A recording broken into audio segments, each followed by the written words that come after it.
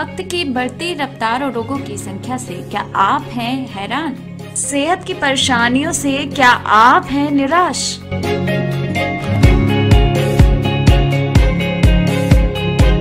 तो health line लेकर आया है तमाम बीमारियों के अनसुलझे राज।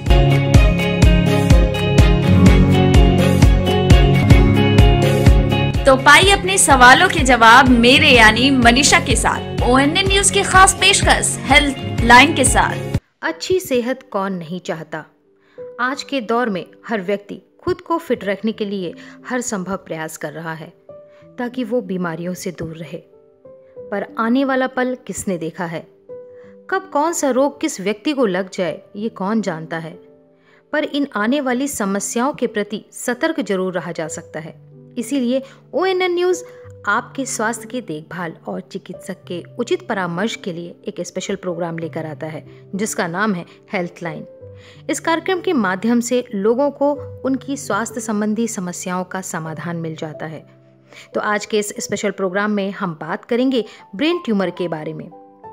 आमतौर पर ऐसा माना जाता है कि ब्रेन ट्यूमर का शुरुआत में पता नहीं चल पाता, इस कारण इसके इलाज में लापरवाही हो जाती है। पर ऐसा नहीं है। अन्य बीमारियों की तरह ब्रेन ट्यूमर के भी कुछ लक्षण होते हैं। तो आइए ब्रेन ट्यूमर पर और भी विस्तार से चर्चा करते हैं हम। हिमांशु कृष्णा से, जो कि M B B S M S में गोल्ड मेडलिस्ट हैं के जी एम यू से। S G P G I में ये M C H neuro surgery विभाग में कार्यरत हैं। साथ ही मुंबई के के एम हॉस्पिटल से इन्होंने माइक्रो न्यूरो सर्जरी में फेलोशिप किया है। डॉक्टर हिमांशु कृष्णा जी ने स्विट्जरलैंड के दावोस शहर और साउथ कोरिया की यूनिवर्सिटी सुंग क्यू कॉन्स से एडवांस स्पाइन कोर्स भी किया है। वर्तमान में ये कंसल्टेंट और न्यूरोसर्जन है Lucknow health city trauma centre और super speciality hospital Vijay Khand Gomti Nagar और Divyani neuro maternity clinic B one oblique forty five sector J Aliganj में। तो आइए लेते हैं ब्रेन ट्यूमर के बारे में और भी अधिक जानकारी डॉक्टर हिमांशु कृष्णा जी से।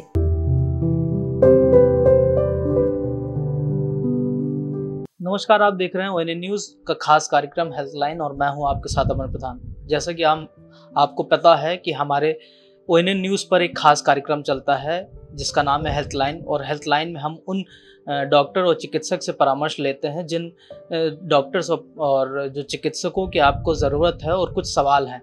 आज उन्हीं सवालों के जवाब हम तलाशना निकले हैं और हम आ पहुँचे हैं डॉक्टर हिमांशु कृष्णा जी के पास, जिनसे हम जानेंगे कि ब्रेन ट्यूमर क्या होता है और अगर बात की जाए, किसी इंसान के अंदर अगर ब्रेन ट्यूमर हो जाता है तो क्या कुछ उसका उपचार है और किस तरीके से मरीजों को वो उपचार करते हैं। सर, पहले तो हमारे कार्यक्रम में बहुत बहुत स्वागत है। थैंक यू पहले तो आपसे यही जानना चाहेंगे कि ब्रेन ट्यूमर क्या होता है और किस तरीके से इसकी पहचान की जाती है। नमस्कार आ, मैं doctor Himanshu Krishna.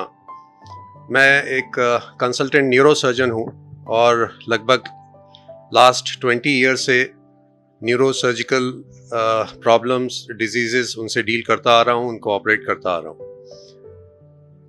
Neuro surgery basically brain और स्पाइन संबंधित जो प्रॉब्लम्स हैं, उनसे डील करती है। और आज जो एक विषय जिसके बारे में हम चाहते हैं कि हमारी पॉपुलेशन, हमारी जनता को थोड़ा उसके बारे में ज्ञान मिले, वो हम लोगों ने ब्रेन ट्यूमर से संबंधित कुछ इंफॉर्मेशंस देने की कोशिश करी है। ब्रेन ट्यूमर्स मतलब जो ट्यूमर्स ब्रेन के एरिया को ऑक्यूपाई कर रहे हैं, उनको हम ब्रेन ट्यूमर्स बोलते हैं। ट्यूमर शब्द जब भी बोला जाता है तो ट्यूमर मतलब होता है एक गांठ। कई प्रकार की हो सकती है, लेकिन कोई एक गांठ जो कि शरीर का नॉर्मल हिस्सा नहीं है, उसको ट्यूमर शब्द कह दिया जाता है और जिस एरिया में होती है तो उसका नाम दे देते हैं। जैसे ब्रेन में है तो वो ब्रेन ट्यूमर स्पाइन में है तो स्पाइन ट्यूमर इसी प्रकार से ब्रेन ट्यूमर्स एक अपने आप में एक सेपरेट एंटिटी हैं, जो कि दो से तीन परसेंट केसेस में देखे गए हैं अलग अलग एज ग्रुप्स में अलग अलग तरीकों से। अब ब्रेन ट्यूमर्स कैसे पता चलते हैं? ऑब्वियसली आजकल की टेक्नोलॉजिकल एडवांसेस में हमें सी टी स्कैंस एम हमारे पास एडवांस टेक्निक्स हैं, जिनसे कि हम ब्रेन को स्कैन करते हैं और ट्यूमर्स या कोई भी एक्स्ट्रा टिश्यू अगर ब्रेन में होता है तो उसका जानकारी मिलता है।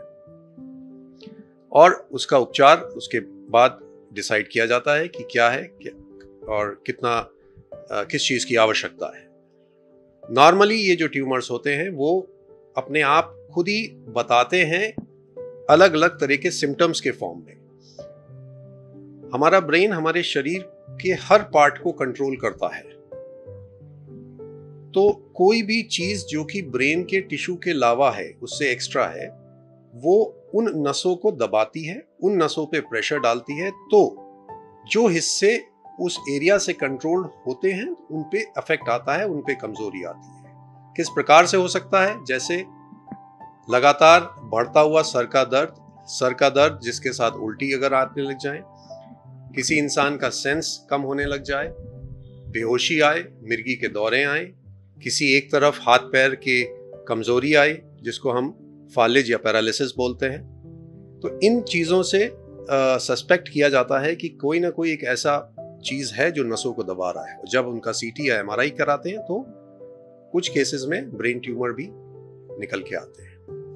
सर, अगर लक्षण और उसके निदान की बात की जाए तो किस तरीके से उसका निदान किया जा सकता है? और लक्षणों की आपने कुछ देर पहले ही बात करी तो कुछ और लक्षण भी हो सकते हैं ब्रेन ट्यूमर ब्रॉडली स्पीकिंग मोटे तौर पे जो लक्षण, जैसे मैंने पहले भी बताया, वो या तो दबाव संबंधित हो सकते हैं मतलब नस पे अगर दबाव हो तो हो जाएगा, या नस पे सूजन आए।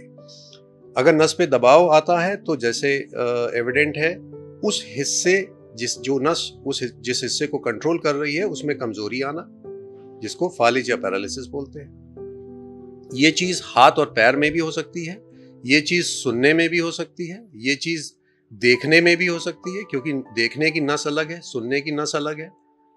चेहरे का पैरालिसिस हो सकता है, बोलने का पैरालिसिस हो सकता है। दूसरा, अगर कभी कभी जो ब्रेन ट्यूमर होते हैं, वो बहुत तेज़ी से बढ़ते हैं तो इंसान बहुत ही जल्दी सुस्त होता जाता है, उसकी एक्टिविटी स्लो होती जाती है और बेहोशी की तरफ़ जाता रहता है। तो इन लक्षणों से हमें पता चल सकता है। कुछ केसेस में हमने देखा है, जैसे लगातार बढ़ता हुआ सर का दर्द जिसके साथ उल्टी आ जाती है।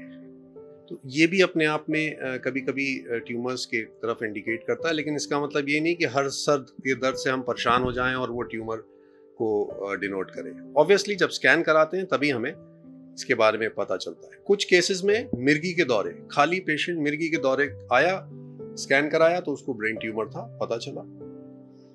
ट्यूमर शब्द खाली जो कैंसर वाले ट्यूमर्स हैं, उसके लिए नहीं है। एक किसी भी प्रकार की गांठ हो सकती है। ये खून की नलियाँ जो होती हैं ब्लड वेसल्स जिसको बोलते हैं, उनके गुच्छे भी हो सकते हैं। वो भी एक फॉर्म ऑफ़ ट्यूमर ही है। प्रेजेंटेशन मोरलेस जो मैंने बताए, वैसे ही रहते हैं, सर, अगर निदान की बात की जाए इसका निदान किस तरीके से, जो प्रक्रिया है, क्या कुछ प्रक्रिया होती है निदान के? ट्यूमर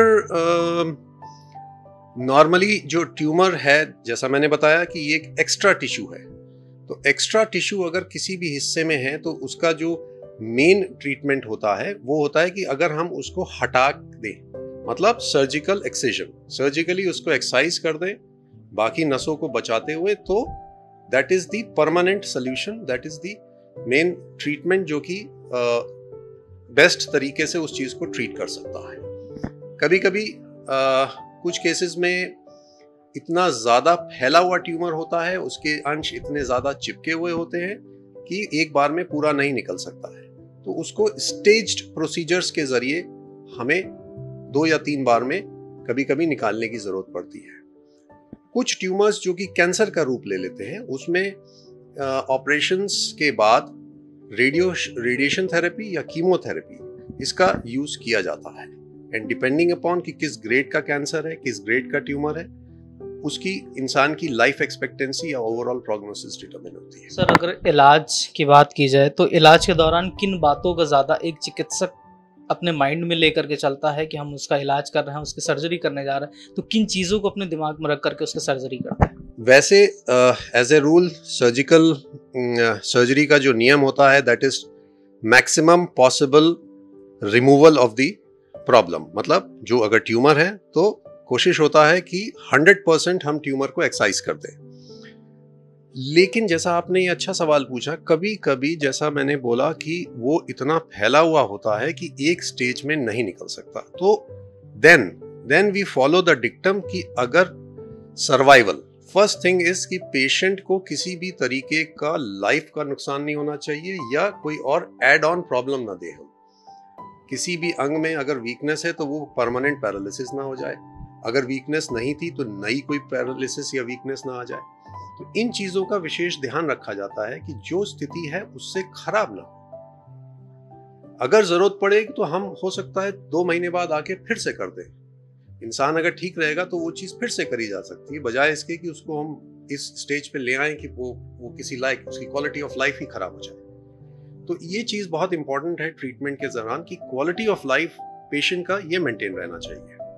सर मेरा भी यही अगला सवाल यही था कि चांसेस कितने होते हैं अगर आपने एक सर्जरी करी है ट्यूमर को पूरी तरीके से आपने निकाल दिया है उसको वापस से आपने देखा कि वो पूरी तरीके से ठीक है चांसेस की अगर बात की जाए रिपीट होने के तो कितने परसेंट चांसेस हो सकते हैं?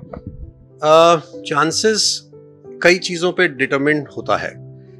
मेनली लोकेशन एंड दूसरा टाइप ऑफ़ ट्यूमर ब्रेन की कुछ लोकेशंस ऐसी हैं जहाँ पे हमारे को सेफ्टी मार्जिन ज़्यादा मिल जाते हैं। तो वहाँ पे हम ऑलमोस्ट हंड्रेड परसेंट रिमूवल कर सकते हैं ट्यूमर का without causing added damage to the patient and to the brain तो उसमें रिकरेंस के चांसेस प्रैक्टिकली निल हो जाते हैं। कुछ लोकेशंस ऐसी होती हैं जहाँ पे अगर छोड़ना पड़ेगा तो ज़ाहिर सी बात है कुछ टाइम बाद वो आएगा। अब कितना परसेंट में वापस आएगा या दूसरा सवाल होता है कि कितने टाइम में वापस आएगा। वो डिटरमिंड होता है ट्यूमर कैरेक्टरिस्टिक्स पे। ट्यूमर बिनाइन है या लोकली इन्वेजिव है या कैंसरस है। ये शब्द मेडिकल टर्म्स हैं, लेकिन बिनाइन का मतलब होता है जिनमें कैंसर का कोई लक्षण नहीं है। लोकली इन्वेजिव का मतलब हुआ कि कैंसर नहीं है, लेकिन उस ट्यूमर की कैरेक्टरिस्टिक्स ऐसी है कि वो अपने आजू बाजू के नर्व्स में चिपकेगा उसके अंदर फैलेगा। तो ऐसी चीज़ों को हम एक बार में नहीं निकाल सकते। उसमें आ, उसको दोबारा वो अगर बढ़ता है बढ़ने की जो अवधि है वो अगेन फिक्स नहीं रहती है। अगर लो ग्रेड ट्यूमर्स हैं तो वो कहो पाँच साल दस साल पंद्रह साल बाद बढ़ें। जैसे जैसे grade one two four four grade is highest grade जो हाईएस्ट ग्रेड के ट्यूमर्स होते हैं, उनका लाइफ एक्सपेक्टेंसी भी कम होता है और वापस आने की क्षमता ऑलमोस्ट 80 परसेंट ट्यूमर 6 से 15 महीने में वापस आ जाएगा, जो हाई ग्रेड के कैंसर वाले ट्यूमर्स होते हैं। बहुत अहम जानकारी है, जिस तरीके से आपने बताया कि ट्यूमर का इलाज तो संभव है, लेकिन उसके चांसेस भी कहीं ना कहीं ज़्यादा है। तो एक बार आपने सर उसका इलाज कर दिया, उसका ऑपरेट कर दिया, फिर कुछ एक सर्टेन पीरियड ऑफ़ टाइम के लिए क्या डाइट चार्ट कुछ मेंटेन की जाती है चिकित्सक की ओर से, या फिर उसको रूटीन लाइफ में वापस भेज दिया? जैसा मैंने बताया था कि ट्यूमर की कैरेक्टरिस्टिक से ही काफ़ी चीज़ें डिटरमिंड होती हैं। जो बिनाइन नॉन कैंसरस ट्यूमर्स हैं, वो पेशेंट्स करीब करीब अपनी नॉर्मल लाइफ 100 परसेंट तरीके से जी सकते हैं। कुछ छः आठ महीने के बाद छः आठ हफ्तों के बाद, तीन चार महीने के बाद हम उनसे यही कहते हैं कि भैया, अब आप भूल जाओ कि आपको कोई प्रॉब्लम भी थी। लीड अ नॉर्मल लाइफ, खाना, पानी, exercise, work, office work, just lead a normal life. कोई ऐसा रिस्ट्रिक्शंस नहीं होता। वैसे भी किसी भी ब्रेन ट्यूमर संबंधित केस में एक proper balanced diet is always necessary because चाहे वो सर्जिकल ट्रीटमेंट हो, चाहे रेडिएशन हो या कीमोथेरेपी हो। बॉडी का रेजिस्टेंस अच्छा होना चाहिए इन सब चीज़ों को एक तरीके से ओवर पावर या झेल पाने के लिए। तो diet definitely has a good role an important role restrictions as such नहीं होते किसी भी चीज़ के। अगर पेशेंट का ओवरऑल मेडिकल कंडीशन ही बहुत फ्रेल या वीक है, ज़ाहिर सी बात है उनमें कॉम्प्लिकेशंस उनमें साइड इफेक्ट्स ज़्यादा होंगे। And precautions dietary controls physiotherapies mobilisation ये मोबिलाइजेशन मतलब जितना जल्दी हम पेशेंट को चला सके, जितना उसका चेस्ट का एक्सरसाइज करा सके। तो ये चीज़ें उनकी लाइफ को क्वालिटी ऑफ़ लाइफ को बेटर कर देते हैं। उनके लाइफ एक्सपेक्टेंसी पे भी कहीं ना कहीं पॉजिटिव इफ़ेक्ट आता है। सर, हमारे चैनल के माध्यम से क्या कुछ सुझाव या कुछ सलाह अपने पेशेंट्स को या उन लोगों को देना चाहेंगे जो इस बीमारी से ग्रसित हैं और शायद उनको अभी तक इसके बारे में जानकारी ही नहीं है? मोस्ट लाइकली अगर आ, जैसे ब्रेन ट्यूमर अगर हम कहते हैं तो ब्रेन ट्यूमर जो